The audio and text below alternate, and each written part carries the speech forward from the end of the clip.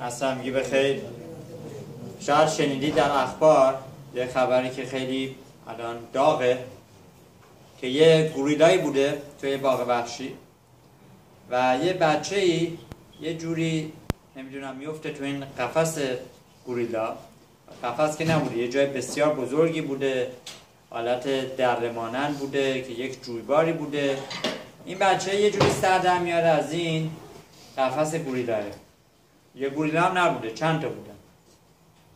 و اینو فیلم برداری کردن. که این بچه ها رو اول گوریلاه میه جلوش نزدیکش. بعد دستشو می‌گیره میکشونتش تو آب. مقدار باش بازی می‌کنه از این ور آب میبرتش اون ور آب میبرتش تو آمریکا. تا اینکه تو این حین و بین تا میان می‌بینن نجات دادن بچه خیلی سخته. مسئولین خود اون باغ وحش این گوریلا رو گوریلو میکشنش. حالا توی آمریکا دو تا دسته مردم شدن که در این زمینه ابراز نظر می‌کنن یکی اینکه یه گروهی شدن که میگن که نه این گوریلا تفلک رو چرا باید میکشتنش؟ عوض اینکه بکشنش بعد با یه گلوله میزدنش که بیهوش بشه یا سر بشه بعدش بند. نجاتش بده این بچه رو نجات بده یه گروه دیگه میگن نه خطر جونی بوده کاری که کردن کار درستی بوده بچه رو باید نجات بدن. خب الان دوره شده که همه ابراز نظر می‌کنن. نظر تورا چی؟ تورات نقدوشه تو این شرایط به ما چی میگه؟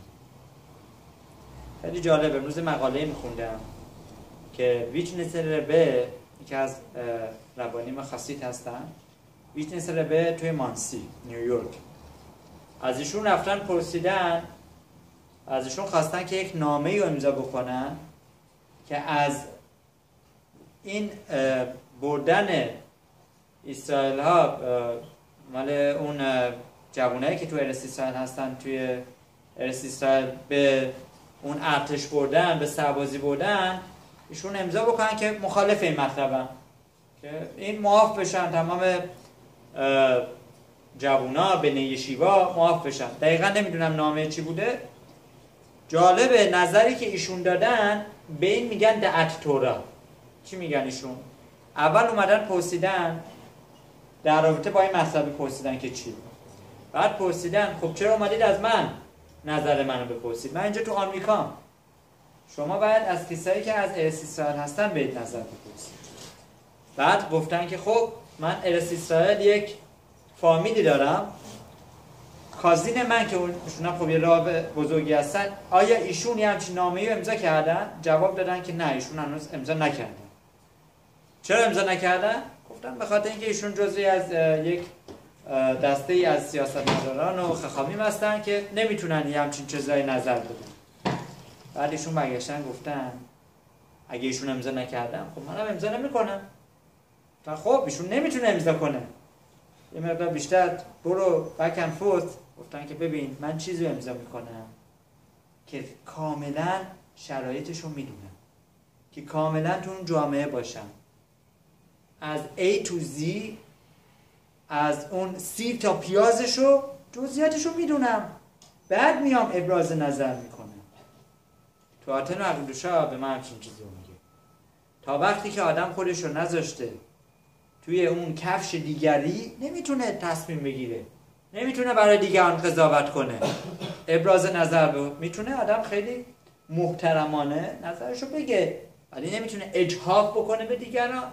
نمی‌تونه بیاد بگه که نه حتما این نظر درسته. بنابراین شخص بعد در نظر داشته باشه که ما یهودیان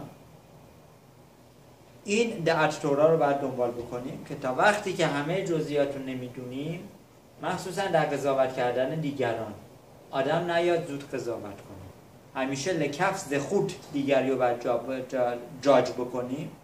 بیایم قضاوت بکنیم به خوبی قضاوتش کنیم. مگر اینکه یک سری مسائل دیگه باشه که اون موقع آدم باید شک بکنه تا وقتی که کاملا مشخص بشه. بیبی خنانیا به نقشم من را ساق بش باخون لذکر دیستایل. لفیکاق ایمان هم تورا مسوشنه مرد نخواه